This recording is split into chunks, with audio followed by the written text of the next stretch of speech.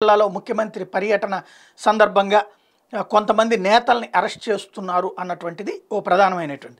ఇకపోతే గుంటూరుకి సంబంధించి వేటు న్యూస్ ప్రొజెక్ట్ చేసినటువంటి జన సైనికులు అత్యుత్సాహంతో చోరీ జరిగిందని గుంటూరు నగరంలో ప్రజల సౌకర్యార్థం నిర్మించిన డీమార్ట్ సూపర్ మార్కెట్లో జన సైనికులు వాళ్ళ సందడి చేశారు.